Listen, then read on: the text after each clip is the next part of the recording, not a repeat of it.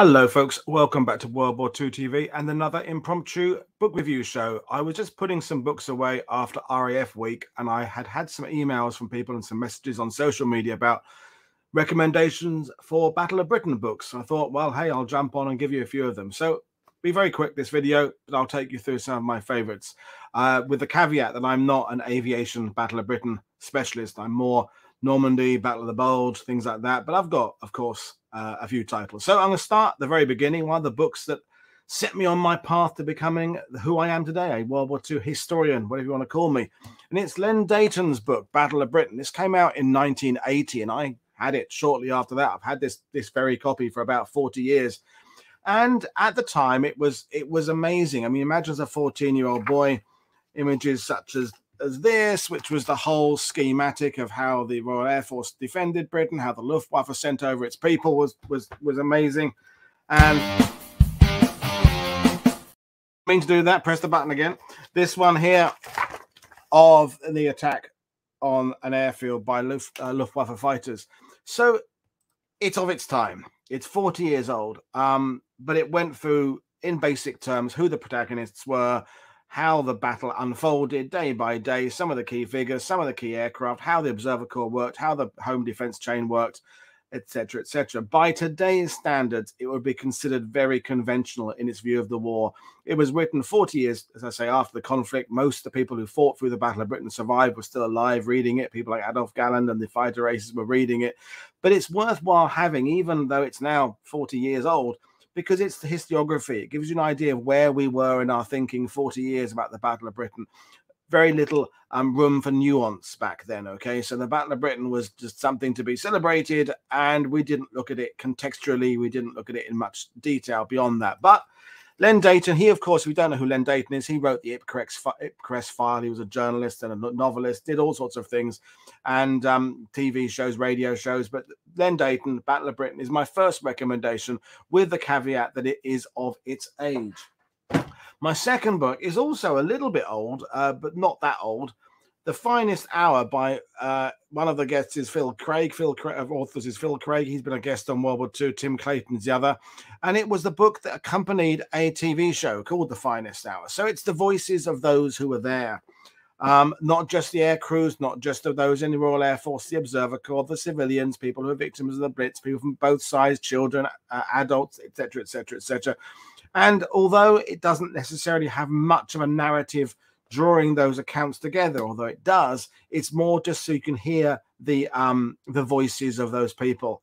Um yes according to uh, looking at the, the questions coming i expect these books will be available in public libraries. So finest hour it's the voices of those who were there. So i think it's a really good start if you want to kind of understand how people felt about it at the time because it's you know what what their feelings were about the battle of britain. You know we've got to remember that at the time as the battle was raging, the fear of a German invasion was very real. The fear of, of, of defeat was very real. We now know that the, the, German invasion of Britain was, was highly unlikely. The Navy, our Navy, the Royal Navy was going to come down and stop them. And, you know, but at the time, it's very much uh, what people who were there thought at the time. So, Finest Hour, Tim Clayton, Phil Craig, Craig is my second book.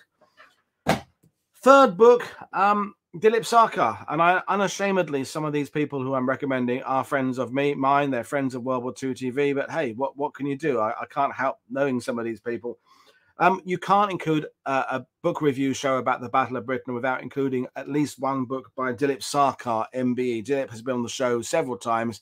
He's written a whole series of books about the Battle of Britain, including he's in the middle of writing a seven-volume kind of not going to be definitive. But it's going to be his probable last statement about the Battle of Britain. He's written about individuals like Sailor Malan. He's written about um, uh, wings, particular battles.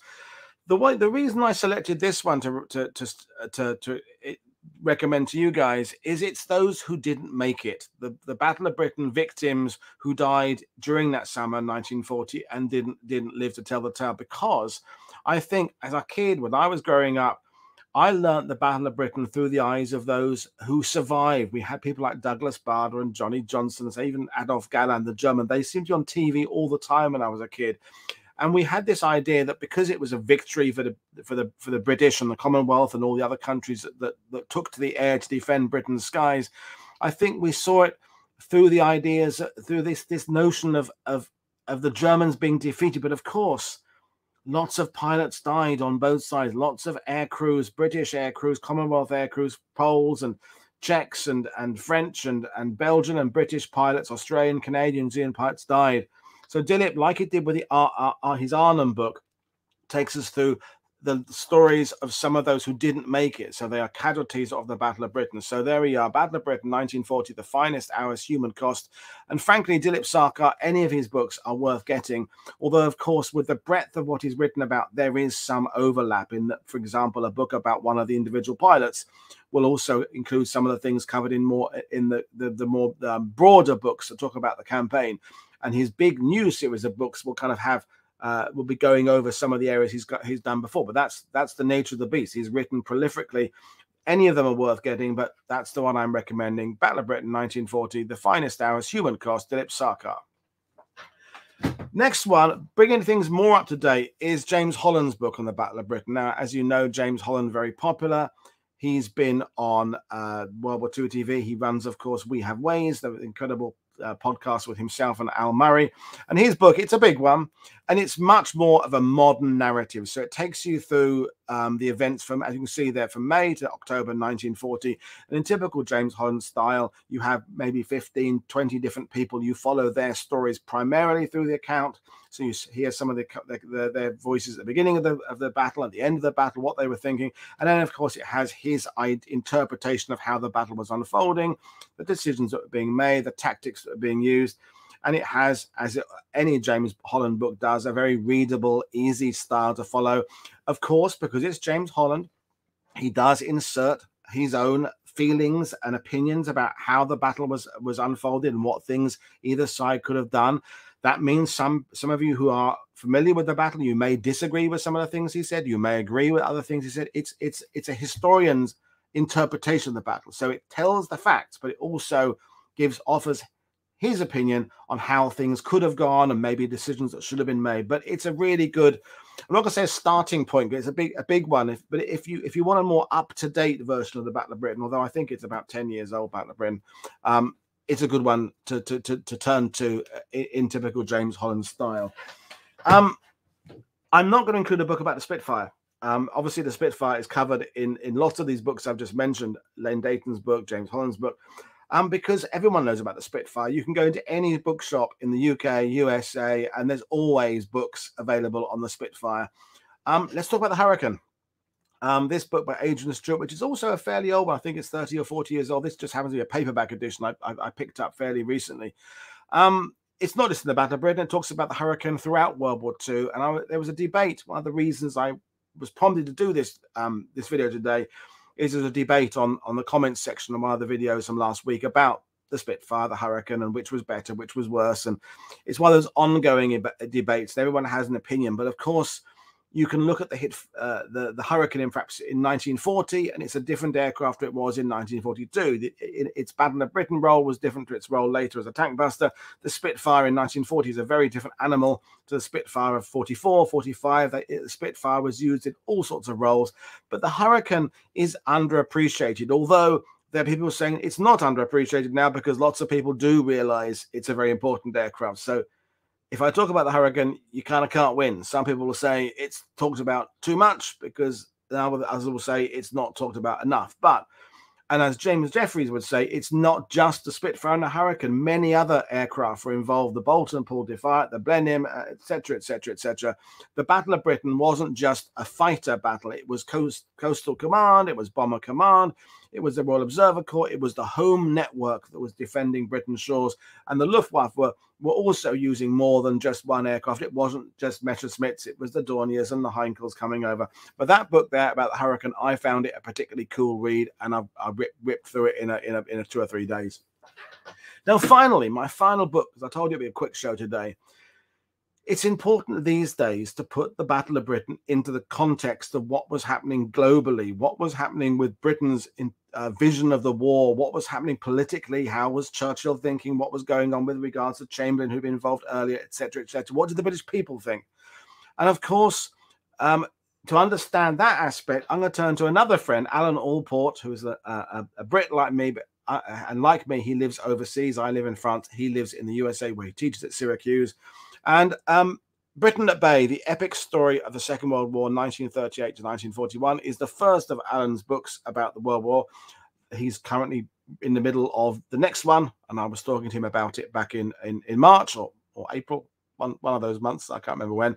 So this is a very good modern interpretation. Some people would say it's revisionist, and I do not believe revisionist is a dirty word. Revisionist means fresh. It means new analysis. It looks at the British class system. It looks at where the British uh, um, uh, um, ambitions were. It looks at empire. It looks at the, uh, you know, it's not, it's about Britain, but it's about Britain in as part of a global community. Where does it sit with the Commonwealth? Where does it sit with um, the, the, the what the enemy are wanting, what the allies are wanting, etc., etc. Um, another one, I, I, I toyed between this one and Daniel Todman's book uh, about the same period, 1939 to 41. Um, they're both very good. In fact, there's a bit of overlap between them because I've only met Dan Todman once for about five minutes. I, I, don't know him as well as I know Alan. Alan and I have shared a few beers. I thought, well, hey, I'll, I'll actually recommend Alan's one. He's a cool, cool guy, even though he does support Liverpool, um, uh, which you know no one can hold that against him. So that is a much better book to understand where Britain was in 1940, where um, the, the, the battle fits into the grander campaign, how Britain had been drawn into the war, what was going on in 1930s. That there was a kind of um, a realization amongst some people that war was going to happen. Other people had their heads buried in the sand and believed that a, a war wasn't going to happen. There were various interpretations of what Germany might do and what Britain should do in response. It's France's role, etc., etc. But I thoroughly recommend, um, as I say, there, Britain at Bay, the epic story of the Second World War, 1938 to 1941. Um, don't be thinking that much of the book is about the Battle of Britain, maybe maybe a, a, tenth of it, a twelfth of it, something like that. But it is definitely covered in there. But it's covered in there contextually as part of the Greater War in the early part of uh, the, the, the, those war years. So there we are. Um, there's a few comments comments there saying the Hurricane was the more versatile aircraft of the, two, of the two. That's the Great Dominion. I'm I'm in almost the other way. I think the Hurricane did a few things really well, whereas the Spitfire was more of an all rounder, but didn't do any of them exceptionally well. But people will disagree with me because everybody's got their their favorite aircraft and their and their and, and they don't often want to shift their ideas on things. But I thought I'd give you that. Um, if you disagree with my uh, interpretations of the of the best books about the Battle of Britain, or you've got other suggestions, put them in the comments below. Uh, it helps um, push the channel on. The more interaction, the more comments brings people to the channel. If you have just found this and, and have, decided to watch this video because it's only going to be 15, 16 minutes long, then perhaps dive into one of our longer shows. The usual show length on World War II TV is about an hour and a quarter, an hour and a half. Historians come on and we talk about World War II for that length of time, and we'll dive into all sorts of uh, arenas of combat, all sorts of subjects, from the resistance to the strategic bombing campaign to the Pacific campaign to the jungles of Burma to the deserts of North Africa, etc., etc. Next week we are starting our artillery week, and the shows are already listed there, and then we have many more things coming your way. Again, remind people if you'd like to support the channel, there are numerous ways you can do so. You can, uh, after this show has has processed, you can use the thanks button to give me like a buy me a coffee. That's the way they call it. And you can give a, a donation that way. You can become a patron or you can become a channel member, and you can just spread the word about what we're doing to your friends and other people who you know are interested in World War II. If some of them aren't your friends, uh, then you can recommend to them just as well. So there we are. This is Paul Woodadge. I, am sitting here on a Saturday afternoon. Normally, uh, if in the in the other times of year, I'd be watching football right now, but it's it's in the close season. There's no football on, so I was twiddling my thumbs. I thought I'd do this. So there we are. Woody's Battle of Britain recommendations. If you disagree with my choices, put them in the comments below. Thanks everybody, and have a good rest of the weekend. I'll see you all on Monday. And don't forget Monday's show, by the way, slightly earlier time uh, 5 p.m. UK time because uh, I've got to go to an event in Bayeux later that day. So it's a bit earlier. The rest of the shows, I think, are normally as they should be at 7 p.m. UK time. But I'll see you all then. Cheers, everybody. Have a good weekend. Bye.